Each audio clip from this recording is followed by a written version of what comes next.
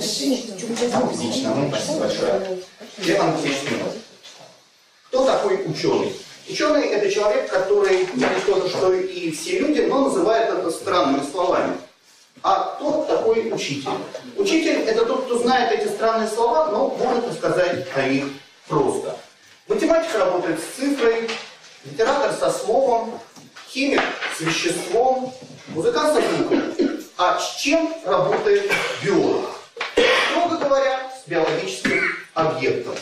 Я учитель биологии, квалифицированный ботаник. И, как все ботаники, я работаю в гербарием.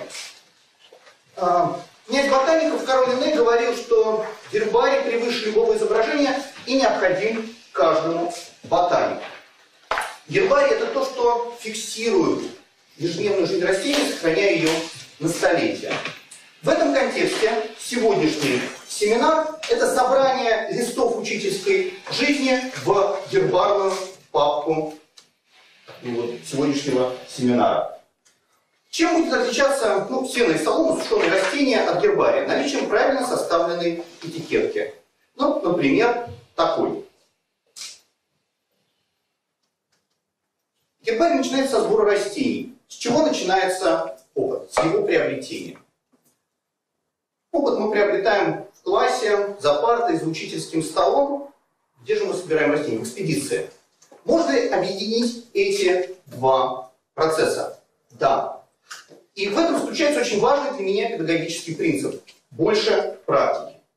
За 10 лет мы с учениками организовали 42 практики экспедиции, в которых приняло участие почти 500 школьников. Они выполнили 260 проектов и исследований, нашли три новых вида для России и ни одного чрезвычайного происшествия. Но в условиях большого города выбраться вот в экспедицию на выезд можно только на выходных или каникулы. Что же делать на уроке, спросите вы. И э, на этот вопрос отвечает следующий педагогический принцип – учиться везде. Например, в музее или ботаническом саду. На слайде представлена структура такого урока, а фотографии фиксируют основные этапы занятия, прошедшего в Дарвинском музее Москвы. Задания на таком уроке могут быть самыми разнообразными. Очень важно, чтобы они были связаны с реальными биологическими объектами. Совместно с сотрудниками Дарвинского музея мы подготовили рабочую тетрадь для проведения таких уроков. Ее можно скачать на моем сайте. А мы переходим к тому, какой, какая теория положена вот, в основу этой практики. И я хотел бы озвучить еще один важный для меня педагогический принцип – учиться исследуя. Вот как выглядит технологический цикл естественно-научного образования, основанного на исследовании. Я не буду вдаваться в сухую в теорию, а постараюсь на конкретном примере проиллюстрировать, как это работает. Однажды мы с моим учеником на осенних каникулах столкнулись с проблемой. Нам нужно было подготовить проект на Олимпиаду экологии. Для этого нужно было оценить экологическое состояние района. В наличии было много гербарных листов. Мы сформулировали гипотезу о том, что это можно будет сделать с помощью индекса флуктуирующей симметрии. Спланировали исследования, определили параметры, провели тысячи измерений. При фиксации результатов мы использовали мобильный телефон. Уже в этот момент возник новый вопрос, а можно ли как-то оптимизировать рутинные измерения? Появилась идея создания мобильного приложения. Когда мы представляли работу на конференции, то из биологического исследования вырос настоящий IT-проект по созданию программы, которая по сканированному гербарному листу позволяет проводить мониторинг состояния окружающей среды. Мы подали этот проект на европейский конкурс «Ботанические сады» школьному образованию и получили право на проведение мастер-класса в ботаническом саду Кью в Лондоне, одном из самых известных гербариев в мире. После сбора начинается следующий этап подготовки гербария – сушка. Кажется, что этот процесс не может иметь никакого отношения к образованию. Давайте посмотрим внимательно на советы Карла Линднея. Вы видите, он отмечает, что в этот, на этом этапе очень важна готовность материала. Меня тоже всегда волновала готовность моих учеников к получению естественно-научного образования. Мне очень хочется, чтобы те ребята, которые приходят ко мне в пятом классе, были заинтересованы в, в изучении окружающего мира. появился учебник по окружающему миру для начальной школы, который стал инструментом и поводом для работы с коллегами. Этот учебник позволил мне по-другому взглянуть на роль естественно-научного образования в школе. И а, ну, мне хотелось заложить, вот как, когда гербарий делают, очень важно заложить корень растения, это одно из как раз особенностей гербария. Так важно и в образовании тоже заложить некоторую корневую идею. Ну, для меня это была идея любви к природе. После сушки идет следующий этап – монтаж. Монтаж требует специальных инструментов, таких как гербарная папка, гербарная сетка. А каких инструментов требует школьное практикоориентированное биологическое образование? Когда мы начинали работать со школьниками, то я испытывал нехватку таких инструментов. Я часто разрабатывал сам. И сформулировал для себя следующий принцип – учиться изобретая. Таким образом, а, мной были разработаны четыре цифровые лаборатории по биологии, экологии, физиологии и географии и два набора для проведения исследований тайной микробиологии и царства грибов, которые сейчас используются в школах, ну, наверное, почти по всей России. Но когда мы делаем гербарий, мы проходим целый ряд этапов, доходим до самого важного – хранения. Также и опыт. А, опыт важно периодически обобщать и транслировать. За последние 10 лет я подготовил более 40 публикаций, включая учебники. Об одном из них я уже сказал, а второй по биотехнологии для высшей школы на английском языке. Но это не только научные труды, это популярные статьи, это методические разработки по проведению проектов исследований школьников и организации практик и конференций. Ну, часто люди представляют, что гербарий это что-то такое очень архаичное. Это то, что вот пропахло нафталином. Но нет, на самом деле нафталин не используется в гербариях, а кроме того, современные гербарии проходят оцифровку. Для того, чтобы любой исследователь любой точке мира мог работать с этим научным образцом. Какое, какую оцифровку проходит современное школьное образование? Мы все чаще имеем дело с интерактивными досками, интерактивными учебниками, интерактивными тетрадями, интерактивными учителями. Нет, конечно же, это шутка, но вы понимаете, что в каждой шутке есть доля в шутке. Наши ученики сейчас сначала начинают пользоваться планшетом, смартфоном, потом говорить. Они в первую очередь знакомятся с сенсорным экраном, а потом с ручкой, бумагой и живой природой. И нам очень важно учитывать эту особенность, когда мы выбираем инструменты для занятий. Когда гербарий проходит оцифровку, то на каждый лист приклеивается штрих-код. Он связывает этот образец с базой данных. Оцифровку проходит и гербарий моего опыта. Этот код ведет в App Store, где можно скачать и установить приложение интерактивной лаборатории, в разработке которого я принимал участие. Дело в том, что телефон – это смартфон на уроке, это универсальный инструмент исследования. Он позволяет делать фотографии, записывать треки, определять высоты, измерять освещенность, шумовое излучение и многое-многое другое. Но важно понимать, что гербарий – это и не сама цель. Это инструмент исследования в том числе и такими современными методами, как молекулярная биология. Я хочу представить свой опыт создания школьной лаборатории по молекулярной биологии, которая включает несколько блоков. ДНК-модуль, который позволяет школьникам выделять и амплифицировать ДНК. Биохимический модуль для качественного и количественного анализа. Блок клеточной биологии для микроскопических исследований. И а, а, микробиологический модуль, который необходим для культивирования микроорганизмов. Сколько единиц хранения в гербарии моего опыта? Я хотел бы представить самые интересные листы. И здесь мы переходим к следующему принципу – учиться команде. Ежегодно мои ученики 9-11 классов успешно проходят итоговую аттестацию. Я очень рад, что год от года предмет биологии выбирает все большее количество ребят.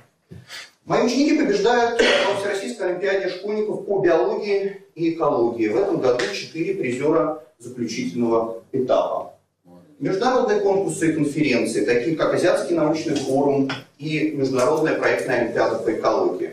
В этом году моя ученица представила проект, выполненный в экспедиции Русского географического общества в Э, Форталезе, Бразилия, на международной выставке. И значимым событием стала победа ученика нашей школы Ильи Седлова на Международной Олимпиаде по биологии.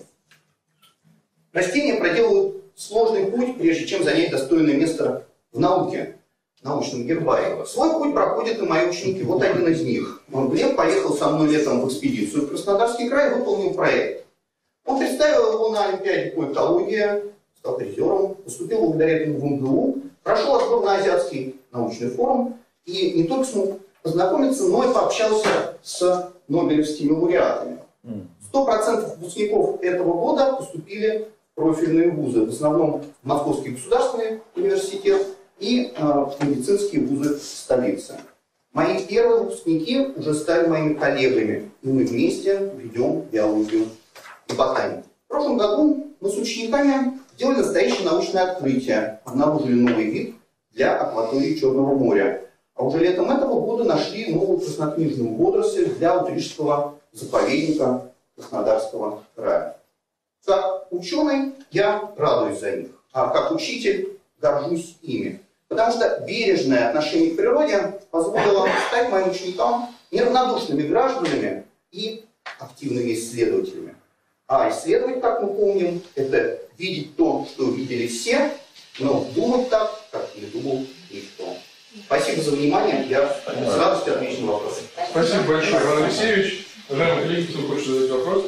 Алексей, вот вы, кроме публикации ваших книг, статей, научно-методических статей, ваши разработки, изобретений, как авторство ваше впечатление? Спасибо большое за вопрос. А, ну, а, я стараюсь получать патенты на тем изобретений, которые могут быть запатентованы. Один из первых мной полученных патентов. А, кроме того, а, я стараюсь делать публикацию об этом, да, это как ну, некоторый приоритет. Но в современном мире очень важно все-таки и делиться этим опытом. Поэтому а, почти все эти материалы, о которых я рассказывал, можно найти на моем сайте в открытом доступе. Сейчас это тоже ну, некоторая такая современная особенность, что если ты хочешь, чтобы это использовали и это э, распространялось, очень важно давать возможность с этим работать, вот как с гербарием. Спасибо. Еще вопросы? Владимир Алексеевич, э, сравнение биологического опыта со сбором гербария а, у вас прозвучало сейчас, и сбор гербария подразумевает неактивность растения, а, когда ты собираешь. Это очень пассивный элемент. Как э, ваш биологический опыт влиял на вас, как создателя вашего биологического гербария? Могли бы вы Конечно. Спасибо за вопрос. А, во-первых, я не сравнивал образование именно с гербаризацией. Я, когда думал, а в какой форме было бы интересно рассказать о своем опыте, понял, что опыт, он как растение, он все время растет и развивается, да, прирастает. Но а, чтобы показать его вам, нужно сделать некоторый такой стоп-кадр, зафиксировать. А, раньше для этого использовались в ботанических садах гербариях лексикаты. Это были такие листы гербария, которые создавались специально для обмена между научными организациями и учеными. И поэтому как раз а, была выбрана данная форма. Если я правильно понял ваш вопрос, он чуть-чуть еще затрагивает другой аспект, а, как вот я прошел этот путь. Я прав? На самом деле я заинтересовался биологией достаточно рано, благодаря, наверное, родителям, бабушкам, дедушкам, они привели меня в зоологический музей. И еще школьником я занимался там в кружке натуралистов. Благодаря педагогу, который вел этот кружок, биология стала моим призванием. Я уже тогда решил, что буду поступать в Московский университет. И уже в этом же кружке получил первый опыт педагогической практики, потому что там такая система шефства, что старшие ребята помогают тем, кто только что пришел, выполнять проекты исследования. Когда я поступил в МГУ, то меня пригласили работать на станцию натуралистов, и сначала я работал в дополнительном образовании. В какой-то момент я понял, что в школе очень много тоже можно а, вот с этими подходами и методами там, и высшей школы, дополнительного образования можно много интересного сделать на уроке. И так я пришел в ту школу, которую закончил. И сейчас не работаю. А алгоритм исследования, который вы говорили, это ваши разработки, или вы приверженец какой-либо школы а, в самом начале был слайд? Да-да-да, я его Это а, ваши находки, или вы вот берете готовыми у кого-либо? Ну, а, это вопрос сложный, да? Он о том, есть ли что-то новое на Земле на самом деле. Сейчас я, прошу прощения, постараюсь показать этот слайд. А, Предложенный здесь алгоритм работы – это, естественно, научное образование, основанное на исследовании. Этот э, технологический цикл используется, естественно, не только мной и не только в России. Э, он вытекает, ну, наверное, исходно из работы там, Джона Дьюи, от Ипатимовича Угодского. И э, сейчас это ну, одно из таких современных направлений развития, в том числе и европейского образования. Тут не случайно приведены аббревиатуры Environment-Based Science Education. А, в России а, есть ряд педагогов, которые используют этот метод, потому что он близок и отечественной школе исследования и проектирования. Она у нас тоже уже перевалила столетнюю историю, есть свои наработки. И здесь, мне кажется, это что-то вроде симбиоза, когда сплетаются вот две ветви и получается что-то новое и интересное. А, вот если вы спрашиваете именно про то, что, ну, можно так сказать, я придумал или стал использовать, это как раз э, структура и построение занятия в музее. Дело в том, что научные сотрудники музея не всегда любят, когда учителя проводят там экскурсии, это понятно. С другой стороны, это один из способов, как я могу школьников связать с э, реальными объектами. И я стал использовать тетрадь как навигатор работы вот такого именно урока по теме, которая у меня в планировании, на занятия. И э, вот э, я надеюсь, что на уроке, который будет, я как раз покажу элементы технологии. Ваши экспедиции проходят э, в летнее время или же в учебное время? И как во время экспедиций только ваши школьники принимают участие, или может, могут попасть другие школьники того региона, куда вы приезжаете? Это очень сильно зависит от конкретной поездки. Мы стараемся выезжать сейчас в осенние и весенние каникулы, выезжаем только в каникулярное время. У нас были также экспедиции в зимнее время, но все-таки зимние Новый год его любят встречать с родителями, и мы решили, что это время не надо трогать. И обычно у нас проходит несколько экспедиций летом. Если у нас есть места, то мы можем взять участников из нашего региона, из других школ. Это могут быть те, кто услышали от ребят там, из их там, одноклассники, друзья, соседи. А, и если у нас есть такая возможность, у нас часто проходит экспедиция сразу нескольких образовательных организаций. Э, скажите, пожалуйста, я к этому про экспедиции. Это выборка детей или это целый класс? Если вы работаете, вот есть определенная тема в да, вы по этой теме выезжаете, допустим.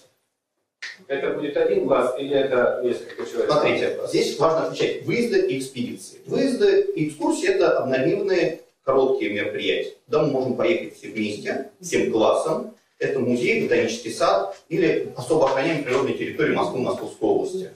Сели на метро, на автобус, приехали, прошли маршрут. Это обязательный элемент обучения, он для всех школьников. Экспедиция не может быть обязательной, потому что это не урочная деятельность, это не урок. И э, у детей могут быть свои планы, у родителей могут быть свои планы, могут быть какие-то особенности по здоровью, да, или там психологическому восприятию. Мы не можем насильно кого-то туда вести. Поэтому это по желанию.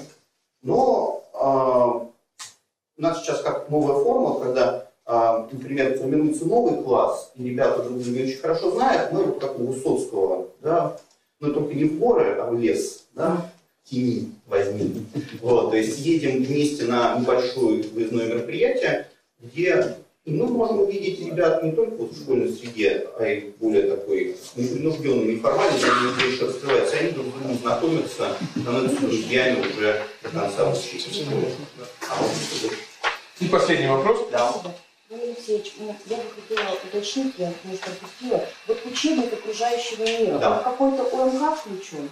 Нет, идет разработка над этим УМК, он используется как учебное пособие параллельно с основным, как книга для дополнительного чтения, домашних заданий. Мы постарались там сделать проекты и исследования для начальной школы. Вот именно тот опыт, который был у нас по работе со старшими ребятами, его перевести так, чтобы это было интересно, понятно и выстроилась преемственность между начальной, средней, да, основной школой а, в проектно-исследовательской работе. А и можно тогда уточнить, то есть он не включен пока в перечень, Нет. и он э, Нет. То есть в процессе будем ждать тогда. Спасибо. Все хорошо, большое спасибо Алексеевич. Спасибо большое.